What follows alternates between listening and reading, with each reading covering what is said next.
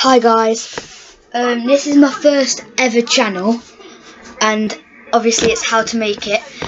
Today I'll be making a coat hanger, no, not a coat hanger, a weapon out of a coat hanger and um, all you'll need is a coat hanger and your hands. So it can't be any ordinary coat hanger, it has to be a metal coat hanger. Okay, let's just adjust that a little bit.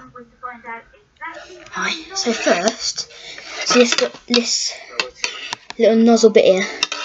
Basically, what you've got to do with that is just bend the handle and just, just twist it. Yeah, basically, just twist it around that bit. Twist like that, right? Yeah, so you twist it all the way, get like this. Right. Basically, you twist that bit like this and then make it long.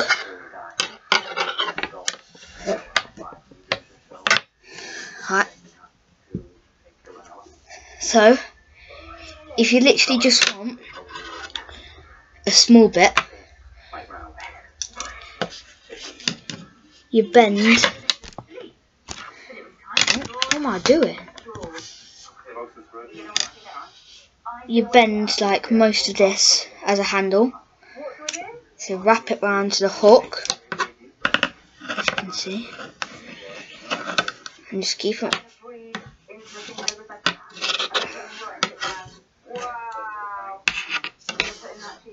Just keep on doing that.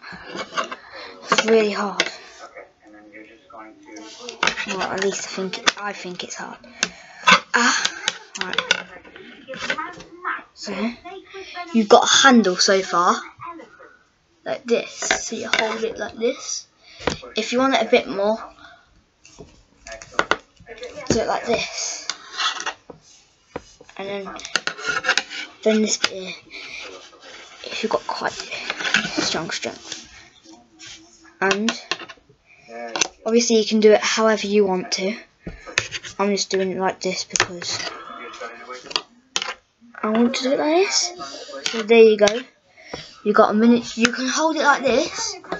So you hit, you hit them in the side of the head, that bit, or you can hold it by the spike and jab it in there.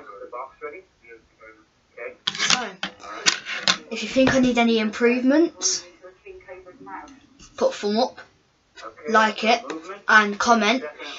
If you, and um, yeah. If it's bad, obviously you can dislike it.